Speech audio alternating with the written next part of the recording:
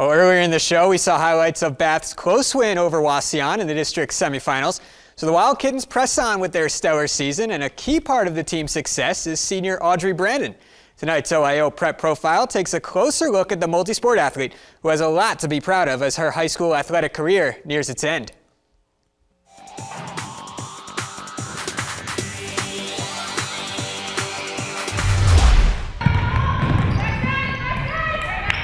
It's safe to say that Audrey Brandon is familiar with the other girls on the court.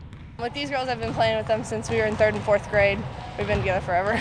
All those years together have paid off. Audrey and the Wild Kittens finished the regular season with a 19 3 record, including a perfect 9 0 in the WBL to earn the school's 17th league title. This team has worked very hard, and, and Audrey's been one of the catalysts in terms of us um, really getting done what we need to get done from a work standpoint and we're going to do everything that we can from this point forward to play our best basketball each and every outing.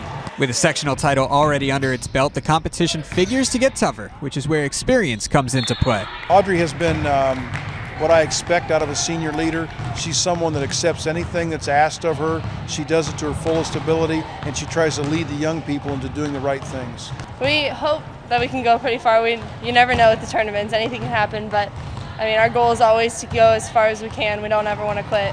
In the fall, Brandon also excelled on the soccer field, playing goalie for a Bath team that went 11 and 3 with two ties. I think I'm a little bit better at soccer, but I love them both. Plans for next August are in motion. Audrey has applied to the United States Naval Academy and plans to try out for goalie there if she's accepted. My cousin's actually was recruited for track, and she's going there, and um, she told me she's like, hey, this is something that would be right up your alley. She said you'd love it, and I visited and I just fell in love with the place. She should hear back in the next couple of weeks. No matter what the future holds for Brandon, Coach Malk knows that she will be successful. Audrey Brandon is one of the hardest workers that I've had in 16 seasons of coaching here at Bath High School. She epitomizes what it means to be a Wild Kitten basketball player from not only her attitude on the floor, but her attitude off the floor. She's a great student, she's a hard worker, and also a great uh, school citizen as well. Well, Audrey and the Wild Kittens will play for the district championship on Saturday night against Wapakoneta. And if Bath can get past the Redskins, then it's on to regionals, which begin on March 4th at ONU.